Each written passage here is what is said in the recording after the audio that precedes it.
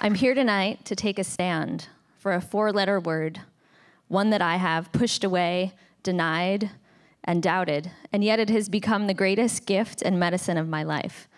I'm here tonight to take a stand for play. Now, out of all the things that are important in the world, why choose play?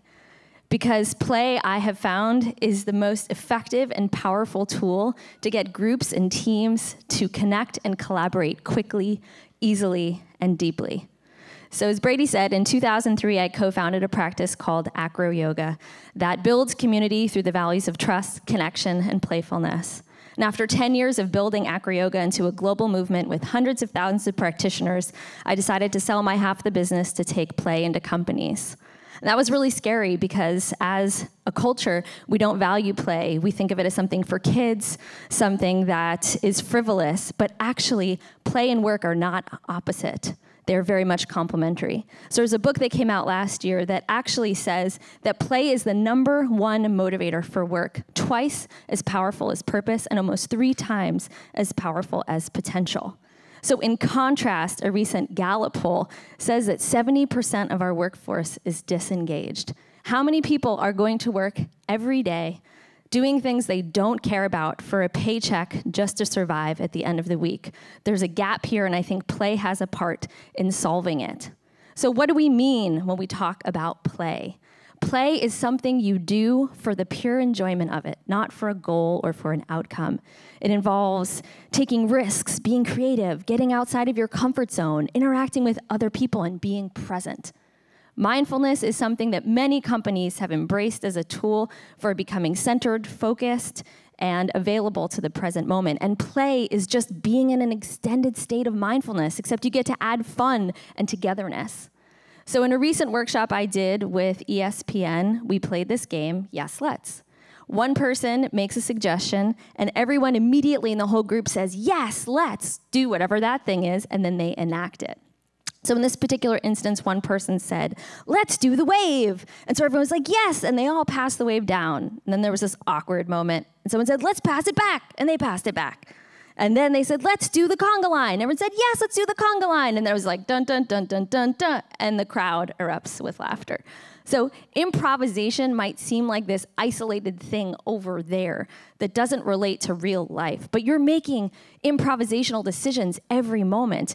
And play is training for the unexpected. It helps you to make those decisions and stay calm under pressure.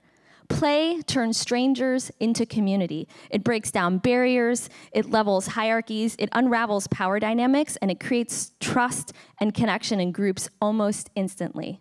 Play lights up the brain. It decrystallizes the patterns of the mind. It helps the left and right hemispheres talk to each other, so we create new neural pathways, literally making you smarter and expanding your range of being. Play makes failure fun. So it creates this low stakes environment where you can make a mistake and laugh at yourself instead of get mad at yourself or blame one of your team members. And it creates an atmosphere of innovation, creativity, and a willingness to take risks. It also invokes a sense of childlike, playful curiosity and wonder, where we see the world and its challenges with fresh eyes. We can think about how can something happen instead of what if it could happen. There are many great leaders who have endorsed the value of play, including Albert Einstein, who said that play is the highest form of research. And he was known to make many of his famous discoveries while playing his violin. So, play takes many forms. For me, often it's hiking up in the Oakland Hills with my dog Charlie, where I get my greatest insights and discoveries, or going to Burning Man like I did this year with my husband and wore my wedding dress for fun on our one year anniversary. So, for many of us, work and play feel separate, they feel opposed. But how can we start them, to knit them closer together? How can you start to infuse your work with a sense of playfulness, a sense of enjoyment for doing it just for the pleasure that it gives you?